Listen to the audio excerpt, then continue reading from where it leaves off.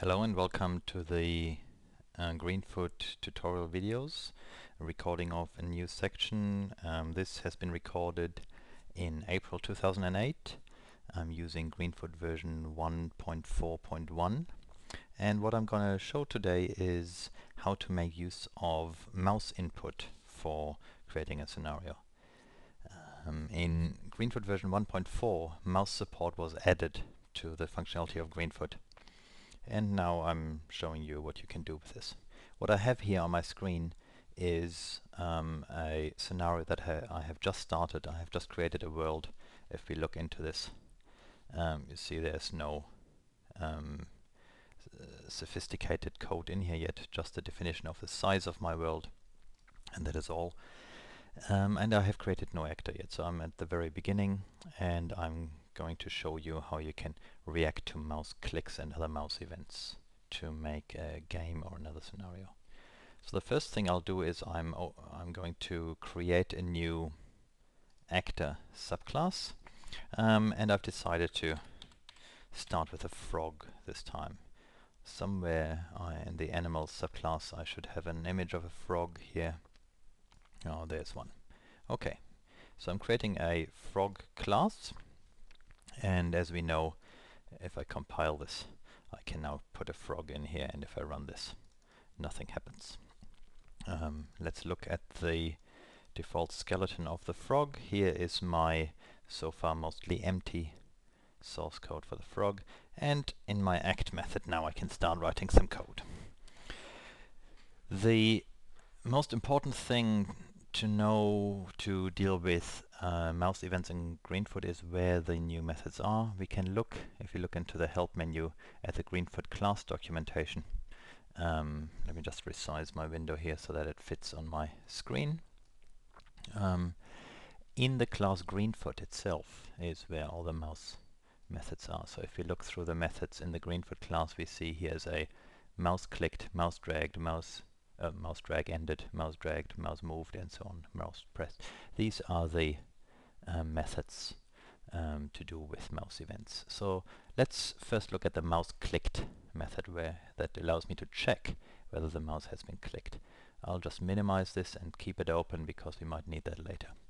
So there was a Greenfoot mouse clicked method that returns a boolean. So I can write something like this.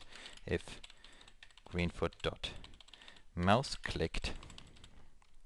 Um, the mouse clicked method has a parameter that specifies, where I can specify the object um, that the click has to be in to be recognized. So if I say if mouse clicked this, that means if the mouse has been clicked on this object, so on, on the frog itself. Let's say um, I want to do something uh, when I'm clicking on the frog. Let's say I want to make it, um, multiply. Let's put another frog into the world. So first, let's get a random location. Let's say I do, I want to get a random x location. So I do something like um, greenfoot dot get random number. Oops. Um, and then I need to have the width of the world as the bounds for my random number. So I do something like get world dot get width and that gives me the width. So I get a random number somewhere between 0 and the width of the world and I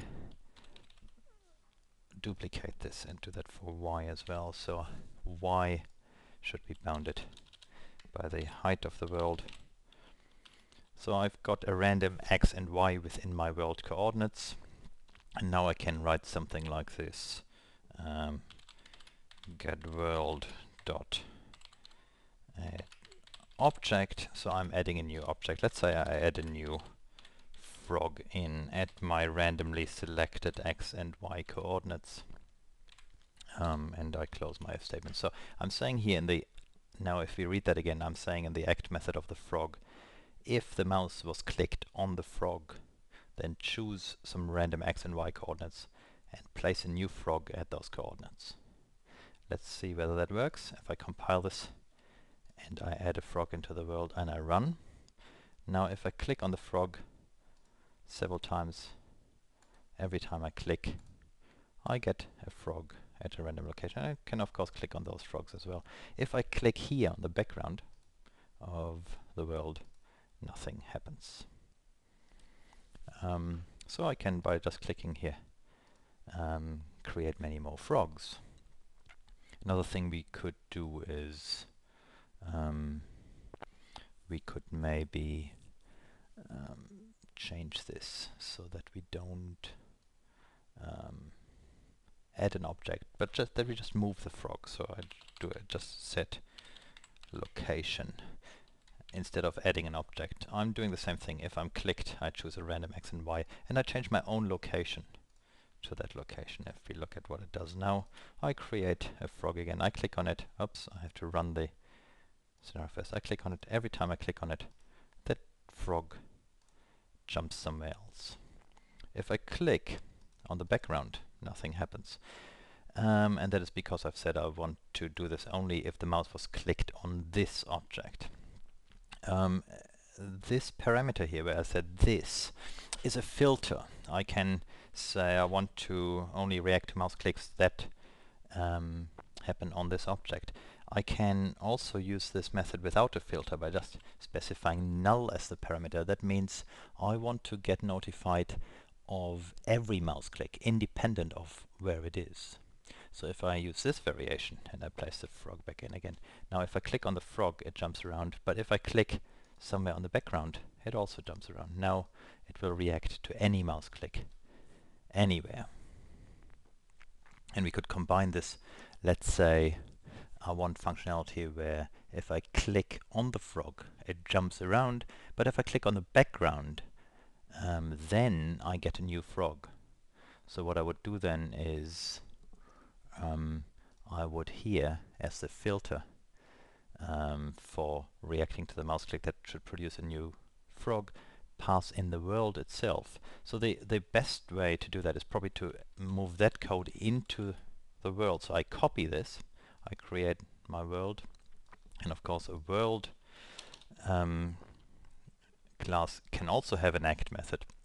So I say here if if there's a click on this object, that is the frog, then I make the frog jump. Whereas if there's a click on this object, that is now here we're in the world, on the world object, then I do an add object um, new frog. So I add an object.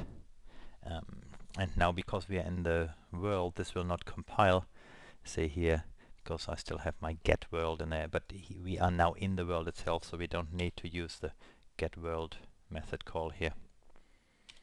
We just need to use, just say get width and get height, because we are local in the world here. So if we compile this now, um, now what we're saying is if we get a click on the world background, place a new frog. If we get a click on the frog, make it move. Um, let's try that out. Well, let's say we run this. I click now in the world and I get a new frog. I click in the world and that frog appears at a random location. If I click on the frog, now it moves around. If I click on the background, new frog, click on the frog, it moves. Okay, that is very good. Let's say we want um, now also to know where the mouse click happened.